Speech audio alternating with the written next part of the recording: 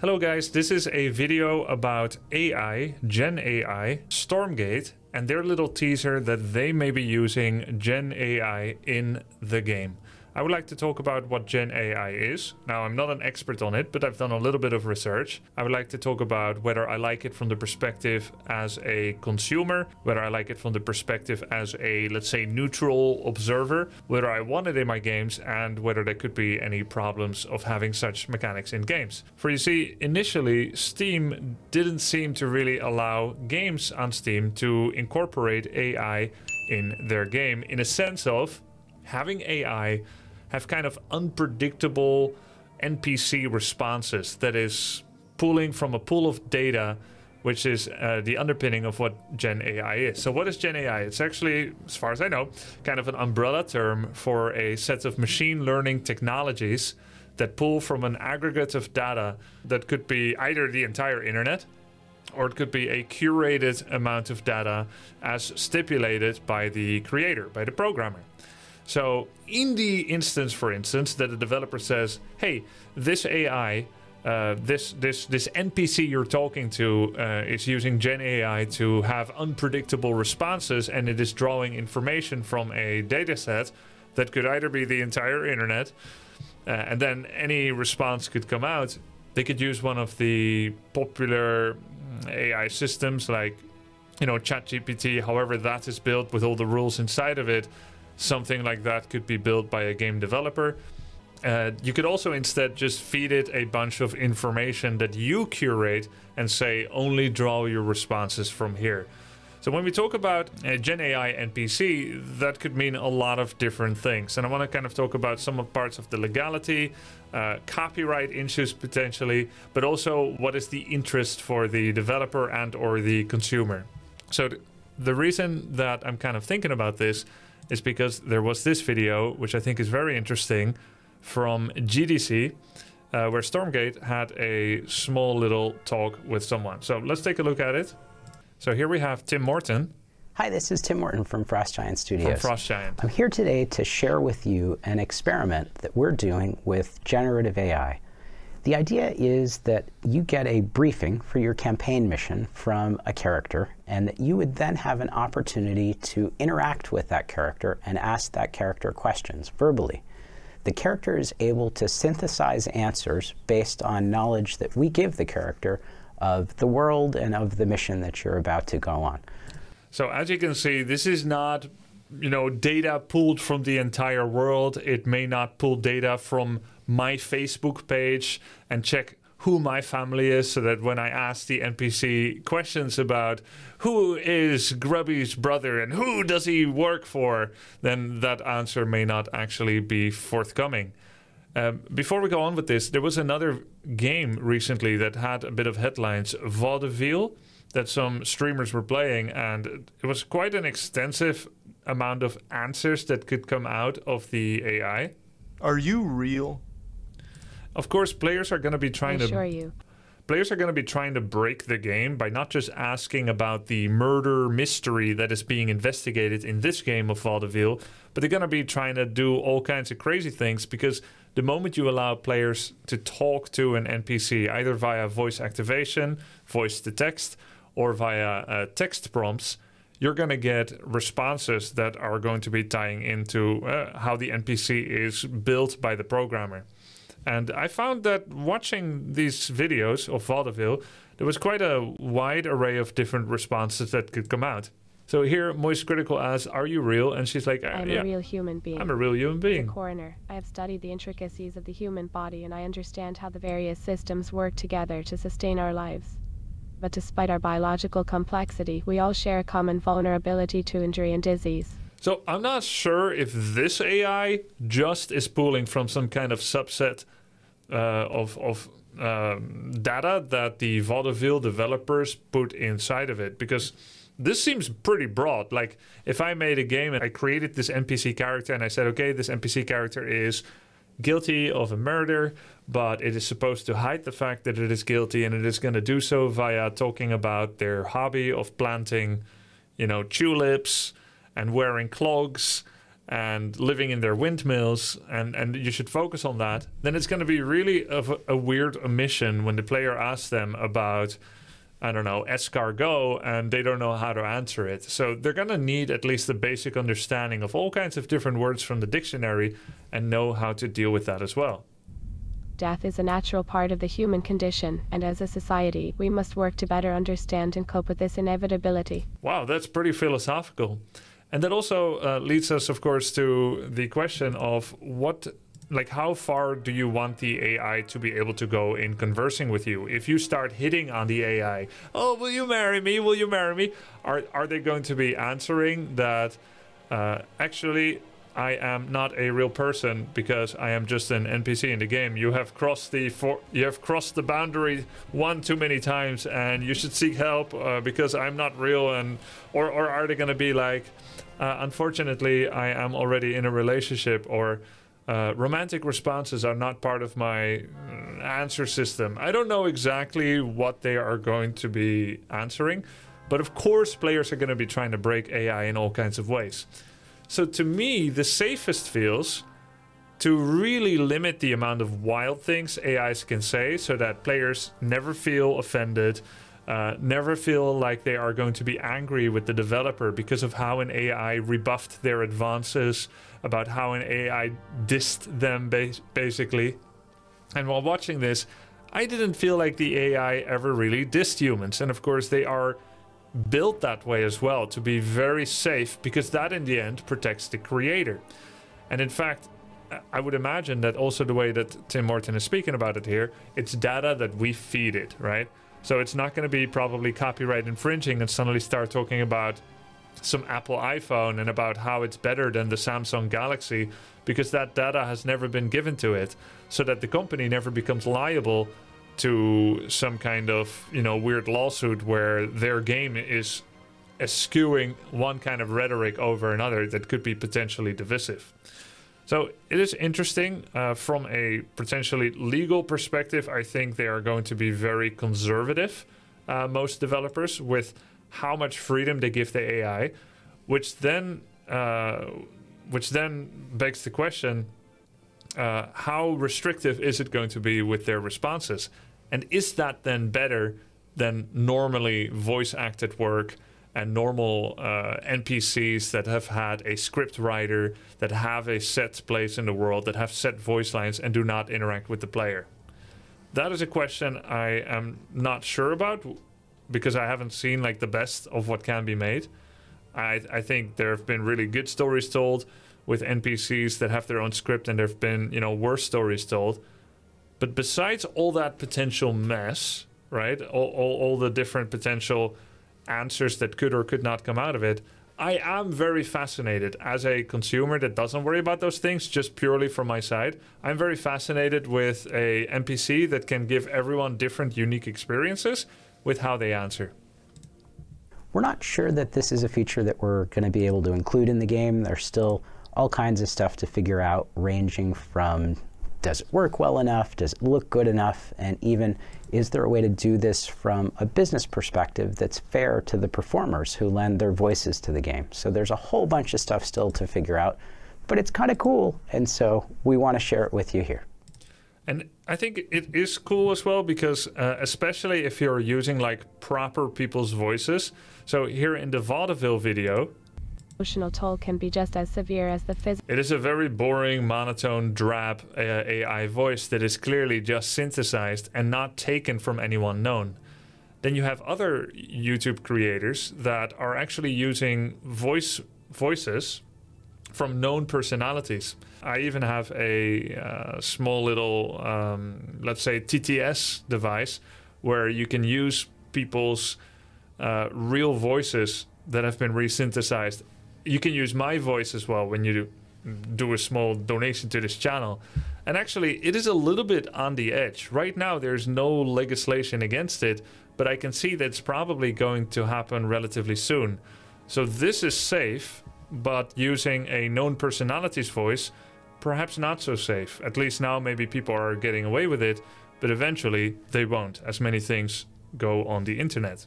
So the question is uh, is there a better way to do it? And Tim Morten seems to kind of suggest that there is a better way to do it. If the creators actually sign off on it, then it's actually not that bad. So, say for instance, normally a voice actor does a job for a game, they have X how many hours of work on a game, and they get paid a set, amount for their hours. Uh, so, instead, they would only give uh, their voice, which would then be synthesized by AI, potentially, right, if that's how they do it.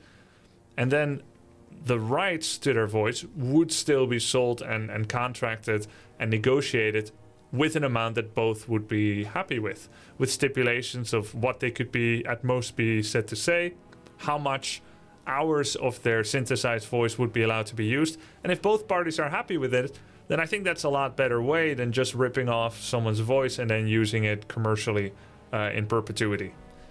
Congratulations on the successful mission. Your team has been knocking it out of the park so far, but this next assignment's gonna be a lot trickier. You'll be tracking down ancient artifacts that could alter the course of the war. Be on the lookout though, cause infernals are everywhere. Oh, I've heard about the Infernals. Who are they? Infernals are hostile aliens who've attacked humanity. Studying them is crucial for our defense. Let's go back to the artifacts you mentioned earlier. Where might I find one? Artifacts are worldwide, in ancient sites or unearthed in digs, revealing our universe's mysteries. I did find something that I think might be an artifact. That's fascinating. What type of artifact did you discover? It's an old, alien looking sword with some kind of inscriptions on the hilt. An ancient sword with inscriptions? That's an intriguing find. Anyway, Do you need assistance in deciphering the writings? Yes, I do, but not yet. I'm playing with some friends, and we're about to start another mission. Thanks for your help. Goodbye, and best of luck on your next mission. If you need to decode the inscriptions later, feel free to reach out. So that's uh, pretty interesting. I think there's a lot uh, to unpack there. Of course, the voice could be better because right now it's kind of uncanny, and this is just a demo. Then I also think there's going to be a very small percentage of players that actually plays by the book. I think most people will be actually focusing on trying to break the routine of the AI. They're not going to say that they found a sword uh, that has some runes on it. They're gonna they're gonna I mean, I don't want to. I don't want to come up with everything that people are going to say, but uh, people are going to try to stay in that and just have that become the game, right? Just to talk with AI, and I know it's it's because I would want to do that too, right? So uh, I don't know how they're going to parry all those potential, um, let's say, questions that are irrelevant to the to the game, but this could be interesting. Uh, this could be interesting. I am curious to see what it could be. Though at the moment, of course, I don't think this particular demo was a good substitute for real charming voice work and storytelling uh, and so on. And someone in chat asks, would you uh, accept $1,000 for 100% ownership of your voice forever? No, of course not. And I don't think contracts with that Stormgate would levy with uh, actors would have those kind of stipulations. Of course, if they're actually going about it the right way and contract for contracting for it, it would be more likely to be something like you do a five minute voice um, you read out a script for five minutes your voice gets used for that uh, in that script you laugh you shout you cry so that the you know the program can copy your voice in the best way possible and then there would be something like your voice is allowed to be used up to 10 hours of voice work and then you get a sum for that 12k whatever right no more than 10 hours the advantage for you is it costs you less time. You just did the five minutes, but you're selling the rights, all right, and not the labor. And the advantage for them is it's cheaper, and then they can use the voice that way. But it could lead to a disturbing trend where you know voice actors are being not yeah maybe shorted, let's say outcompeted by such kind of contracts, and that therefore the market rate for voice actors will drop a lot. And the way that that would affect customers is that, of course, we're going to have poorer quality voice acting. And it also brings across a- another point. It's not just sometimes how reliable the delivery of an actor is, but it's also about does it matter to the customer whether it's real or not? does it matter whether it's real or not? For instance, if an AI was able to do the exact same thing that I do, um, you know, be me, have my imagery, play my games, talk about things that I would talk about, uh, but I told you that it's AI, would that matter to you? Just knowing that it's not real, even if it acted in the exact same way. Should it matter? Would it matter? And I think as a viewer, to me, it would matter. And what if I told you that right now I'm still real? So that's uh, that's the part of uh, the AI NPC reading. I have a lot of questions about it. I have some opinions on it. I am basically in conclusion of this, I am very interested in seeing how fun it would be to talk to and to play with this kind of mechanic. But I'm not convinced yet that most games that we're going to be seeing trying this are going to create a more compelling long term experience than what just a proper good story would be. I'm open to it, and I hope that actors would be, you know, treated fairly uh, when it comes to leveraging these kind of rights. And then the second part of it is Stormgate just revealed their map editor, their level editor, a couple of days ago. So let's take a look at that. There's a small little video here where Frost Giant shows off their map editor. Now, of course, it may not be a surprise to many of you that I haven't been playing a whole lot of Stormgate uh, yet. I think the game is pretty fun, and this video isn't about its audio or visuals, though I'm not extremely excited about those at this time yet. Uh, the visual of the game uh, and the audio landscape. This isn't about that. Um, just talking about the gameplay and the map editor here. Gameplay has been pretty fun. I haven't felt extremely compelled to uh, spam a lot more games, but I'm continuing to have a very curious eye on the game when I see uh, when I'm going to be seeing, you know, the third faction coming out, and also, of course, the tier three technology tree for the two existing factions. Hi, I'm Aaron Larson, the lead campaign designer here at Frost Giant, and today I'm going to be giving you an early look at the Stormgate in-game editor that we are using to develop the game. Here I am playing Stormgate on Titan's Causeway, and uh, I want to make some changes to this map. To do that, I simply push F12. The game will take a quick moment. And I do wonder how he's gonna press F12, like when you're playing single player or when you're playing multiplayer. Like I don't like how this game is going. I'm gonna press F12 and I'm gonna throw up a wall between my opponent and me so he can't attack me anymore. Like here he says he just pressed F12, but of course I don't know within the context of you know what you are allowed to be doing potentially during that. Put me right in the editor. So first up, we're going to be starting in the terrain tab and using the cliff tool. Um, what I want to try to do here is see if I can make this area a little bit safer for the player to take. So of course we don't. Want this looks pretty easy to do. Uh, it's kind of like uh, Photoshop made easy. You just go over it with a circle, and you raise all the terrain. So you, you take the cliff tool and you use a round or a diamond or or a square, and then you can raise the terrain. That's as far as I know, that's some of the simplest I've ever seen a map editor work. Want to make it too easy, so let's add a ramp in here as well. And um, one thing you'll notice here is I've got symmetry turned on, so I can just go back to the other side, and that's already done for me.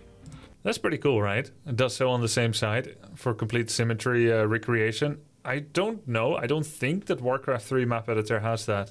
There are a lot of different options for symmetry, including uh, rotational two-way, rotational four-way, symmetry. The symmetry tool doesn't just work with cliffs. Um, this can also work with just about every other tool we have here. So we'll start with a That's little bit of, of the sandy texture and put a little bit of dirt around it as well. So as I'm painting in, you'll notice that this is actually taking information from the height map that the texture uses. This way we can get natural looking transitions without too much effort. In order to... It's not that natural looking, but I get the point. Really speed up our development time, we really wanted to use paintbrushes for as many things as possible. Things like uh, height manipulation, we can paint collision, and even paint water. In addition to that, we also have tools for painting things like trees down. We can create forests like really quickly. Or even better, we can take the uh, light forest and replace some of these um, quite easily just using these paintbrush tools. And when it comes to decorating, we have a whole number of options for decorating maps. And one of the things that we did to help us find things quickly is create tags. So I can type in forest, and that will give me um, not just stump. things that are named forest, but things that go in our forest tile set. So we can add all number of things that belong in the um, forest tile set. Oh, and butterflies for the flowers. That'll be nice. Now let's go ahead and add some more functionality to this map. I have got this idea. I want to create a convoy that moves across the map and give the players a chance to intercept that convoy for a chance at winning some extra resources. In order to get this convoy working, we're going to use triggers. We use triggers um, to build our content. Um, this is very similar to how it worked in Warcraft 3 and StarCraft 2, and we use this in order to speed up the map making process but it also is a lot safer. You can just start plugging things in and it'll start working. Now I've got a couple triggers set up here and I'm going to walk through them. First, we have a convoy spawn trigger and we can use the events to tell the mission when these events should happen. So starting with map initialization as well as every 120 seconds of mission time where this whole event is going to fire. And what we're going to do is we're going to create a chicken we're going to assign it to a Still kind of weird to use uh, chickens as the placeholder. Like it's kind of immersion breaking, but I, I know they're just placeholders for now. variable, and then we're going to tell that chicken to move across the map to the other side. The other thing we're going to do is we have a convoy dies trigger. We can pass that variable that we set up earlier into this event, and when that chicken dies, we can uh, create a reward. All right, here we are in game, and look at that. Our little chicken is moving across the map. The convoy chicken. Let's go ahead and test out to see if um, it'll drop some rewards. It did. Hooray. Everything's working great. Hooray. Everything's working great. I mean, the reward and the kill worked. All right, so going into the data tab, we have a lot of places where we can put data. Different game effects Hey, they blended this out. Is it because this is, is showing something about the third faction? It's like buffs or buttons for abilities or various um, game effects like creating unit or doing damage or healing, um, so on and so forth. Not only can you use any number of existing effects that we've already created, but you can also quickly and effectively create Make something completely custom. So let's go ahead and create a new unit with some new abilities. Let's give it the Weaver's Lash ability. And we also want to give it a button on the command card. And let's It's- go ahead and make some updates. Wh- uh, What do you think is going to be the third faction? You don't want angels? I think it's going to be angels, to be honest. Let's be real. They have humans, they have demons. The third is going to be angels. Come on. What else is going to be?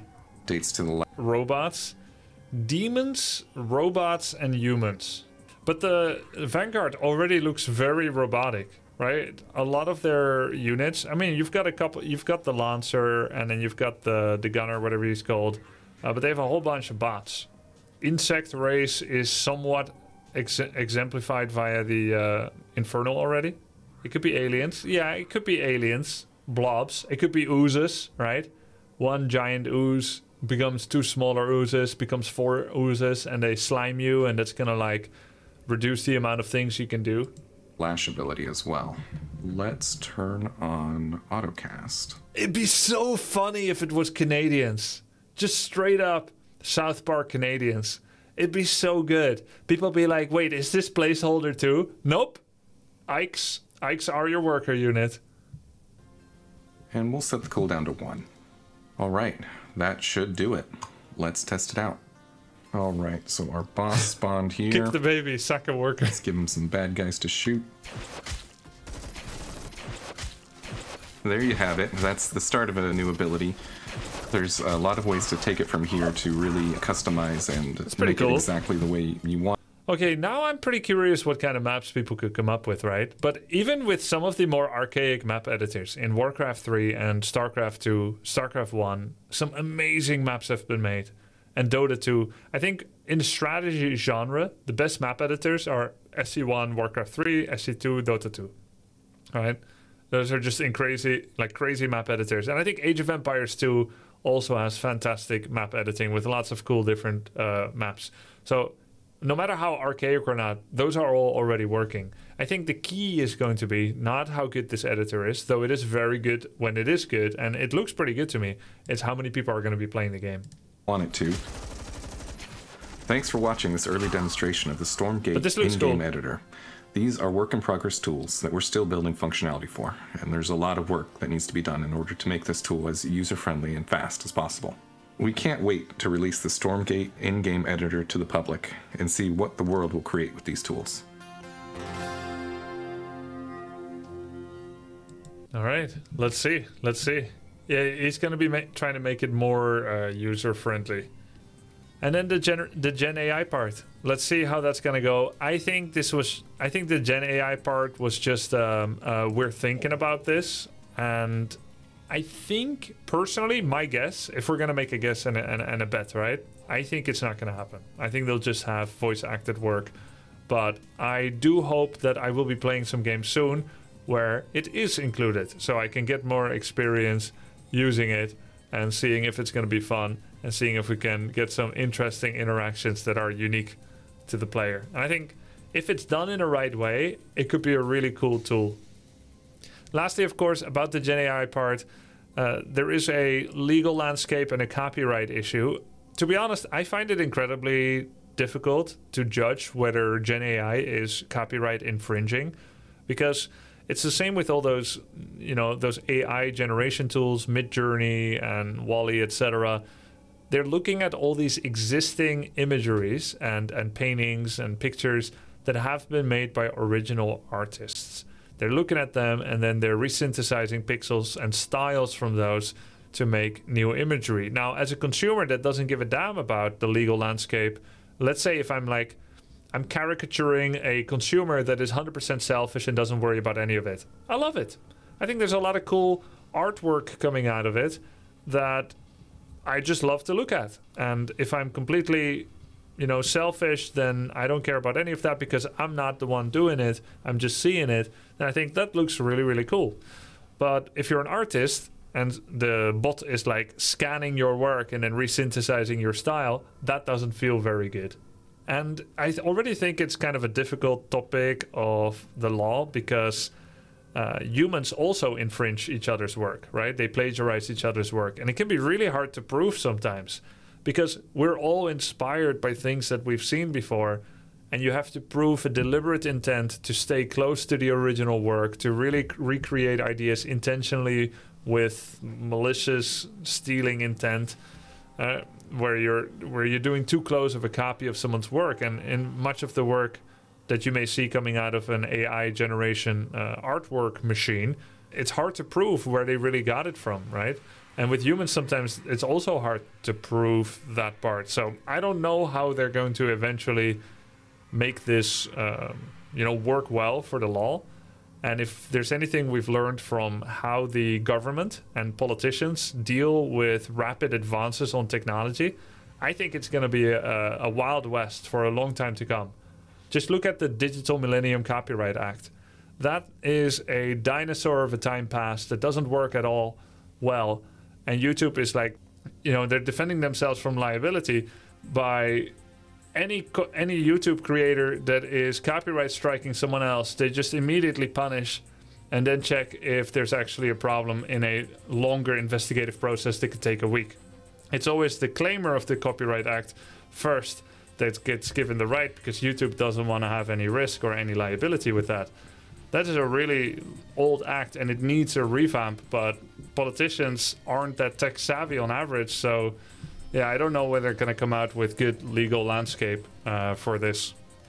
So, uh, it seems to me risky for big games, AAA companies or AA, to really take that plunge and start testing Gen AI that is trained on data that is publicly available so instead, what I expect when Gen AI does get put into big games, they're gonna have a much smaller subset of data that really doesn't make the end result as interesting as it could be because of the limitations being put on them. And then I think it's going to be scarcely better than the real thing of just a script writer and voice acting.